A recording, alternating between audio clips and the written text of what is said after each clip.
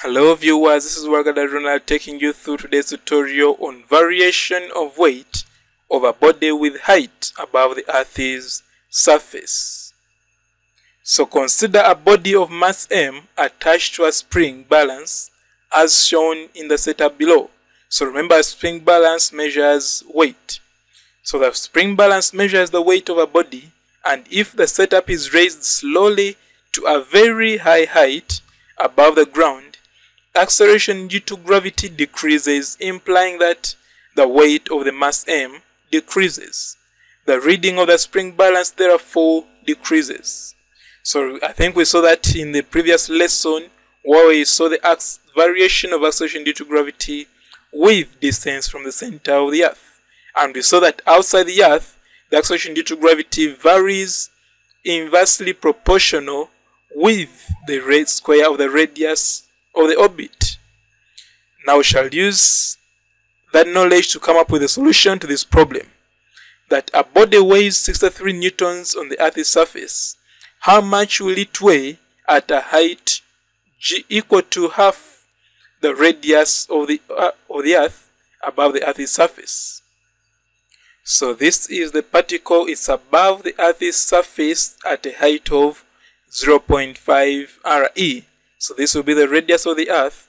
This is the height, which is 0.5 RE, where, where R is the radius of the Earth. That means that the radius of this orbit will be got by adding 0.5 RE plus RE to get 1.5 RE, which is there. So RE plus H is equal to RE plus a half RE, which is equal to 1.5 RE. Now we know the formula that G prime where g prime is the acceleration due to gravity at this height multiplied by the radius of that orbit where the particle is which is r squared will be equal to g which is the acceleration due to gravity at the earth's surface multiplied by the radius of the earth which is r e. Now g prime is what we want. r, r we know it is 1.5 re g we know it. and re we know it is RE. so we shall not substitute for RE, but why? Because it will cancel. I think you can see this side there is RE squared and this side there is RE squared. So there is no need to substitute for RE. Therefore, after cancelling, we shall come up with this statement 2.25, which comes from 1.5 squared g prime equal to 9.81. 9.81 is a constant for acceleration due to gravity at the surface of the earth. So when you use a calculator, we shall come up with our g prime as 4.36 meters per second squared. Now we have managed to get the acceleration due to gravity at that point, meaning uh, we can now get the weight. Remember, weight is equal to mg, where m is the mass and g is the acceleration due to gravity at that point.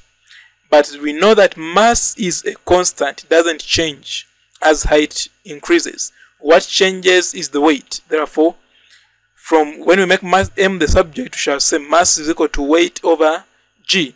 So at the surface of the earth, the weight at the surface of the earth over g at the surface of the earth will be equal to the weight at a height h from the surface of the earth over the g prime, which is the acceleration due to gravity at that point or at that height.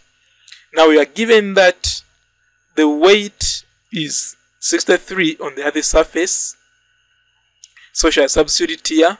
These are weight on the other surface. We know G 9.8. This we have calculated as 4.36.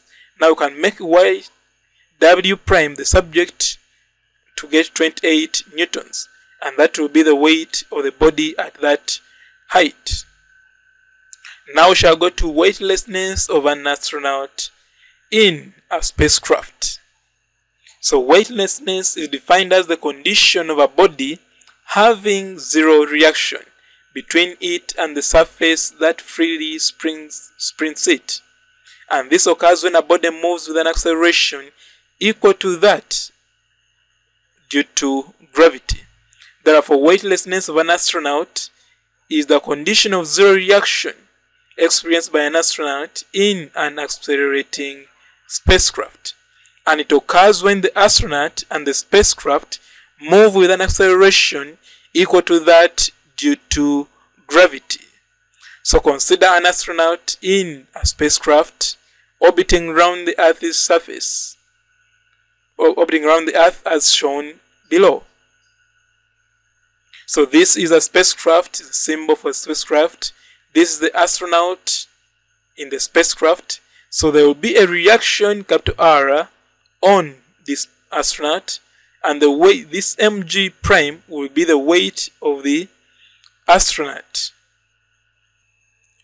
Now outside the Earth's surface, the acceleration due to gravity varies is inversely proportional to the square of the radius of that orbit, implying that the acceleration due to gravity decreases as height above the Earth's surface increases. Therefore, at a particular height of orbit, the centripetal acceleration A of both the spacecraft and the astronaut will be equal to the acceleration due to gravity at the height at that height, i.e., A will be equal to g prime.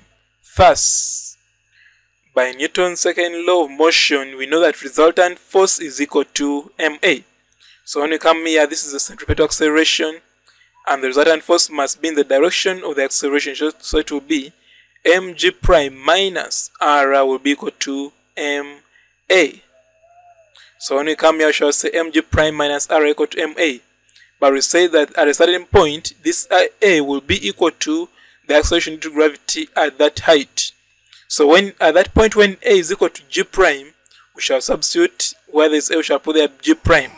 And in that case, when you make r the subject, we shall realize that r is zero. The zero reaction explains the sensation of weightlessness of the astronaut in a spacecraft. And that brings us to the end of our lesson. Thank you for watching and please subscribe to my channel, Rowa e-learning platform.